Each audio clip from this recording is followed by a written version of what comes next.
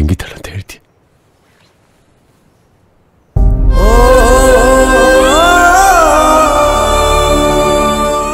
ಒಂದೇ ತಾಯಿ ಹೋಟೆಲ್ ಹುಟ್ಟಿಲ್ಲ ಅಂದ್ರು ಅವನ್ ನನ್ನ ತಮ್ಮ